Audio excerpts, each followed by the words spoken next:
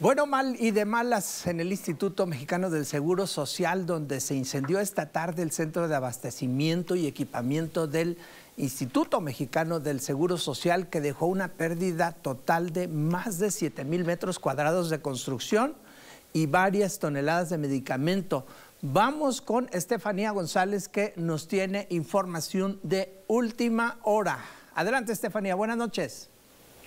Hola, ¿qué tal? Muy buenas noches. Bueno, pues como ustedes comentan ahí en el estudio durante la tarde de este día, pues se registró un fuerte incendio este en el almacén de la delegacional del Instituto Mexicano de Seguro Social, el cual pues se ubica en el libramiento Oscar Flores Tapia y su cruce con la carretera Antigua Arteaga. A este lugar, pues, eh, durante aproximadamente las 4 de la tarde se realizó el reporte en 911 para pedir el apoyo de los cuerpos de emergencia, ya que se estaba llevando a cabo un fuerte incendio, el cual en un principio los mismos, eh, los pocos trabajadores que quedaban dentro de estas bodegas intentaron extinguirlo, sin embargo, pues se les salió de control y fue cuando dieron aviso al 911 solicitando pues el apoyo de los cuerpos de emergencia. Al lugar se trasladaron unidades del cuerpo de bomberos de Arteaga, sin embargo, ante la magnitud eh, de esta fumarola y del fuego que había en el interior, pues decidieron solicitar el apoyo de eh, los cuerpos de emergencia tanto de Saltillo como de Ramos Arista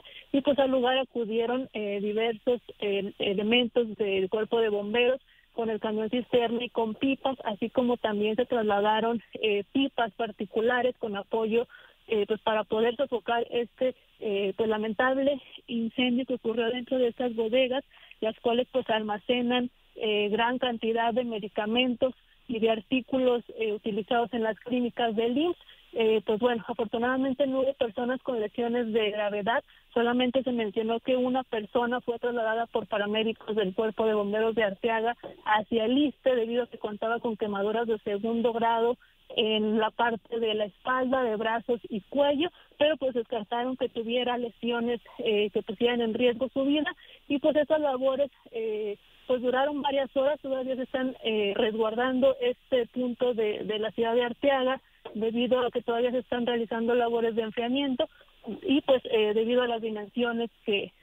que abarcó este voraz incendio. También en un principio cuando llegamos al sitio se comentaba que una de las bardas podía colapsarse debido al calentamiento que había en el interior, pero pues afortunadamente eh, no pasó esta situación y también eh, pues personal de protección civil señaló que este incendio, bueno, no sabían cuál era la causa de este incendio, todavía se desconoce, sin embargo, trabajadores les manifestaron que escucharon eh, pues una fuerte explosión en la parte trasera, la cual pues pudo ser eh, la causante de, este siniestro.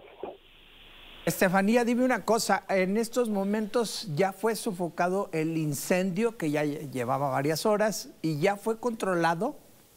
El incendio ya fue controlado, sin embargo todavía siguen realizando las diversas maniobras ya que pues era una bodega demasiado grande, el cual pues contenía diversos artículos médicos, eh, pero pues todavía se siguen con las labores, ya fue controlado, sin embargo, pues todavía va a tardar varias horas más. Por otra parte, el tema de la circulación ahí sobre la vía que pasa ese libramiento, ¿verdad? ¿Ya está restablecida la circulación?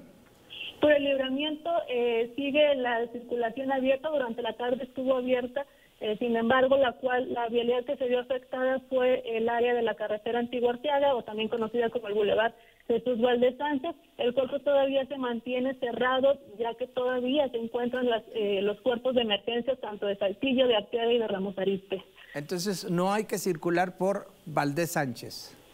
Así es, si pueden evitar ese cruce, pues eh, tomen rutas alternas, ya que pues todavía se van a tardar varias horas más en que puedan liberar esta circulación con dirección hacia Arteaga. Valdés Sánchez y Liberamiento Oscar Flores Tapia. Muchísimas gracias, Estefanía. Seguiremos en contacto contigo el resto de este espacio de noticias. Claro que sí, muy buenas noches. Es una lástima, esta construcción albergaba varias toneladas de medicamentos, material para el abasto de las clínicas y de los hospitales, pero bueno, este complejo consta de tres naves con diferentes departamentos para cada tipo de medicamento y herramienta de uso médico. Y bueno, en la primera área, al frente hacia el libramiento, se ubicaba la bodega de material de limpieza, leche, fórmulas lácteas, sueros y otros medicamentos en polvo. A un lado estaba el cuarto frío en el que se almacenaban insulinas, biológicos y otros fármacos que requieren refrigeración.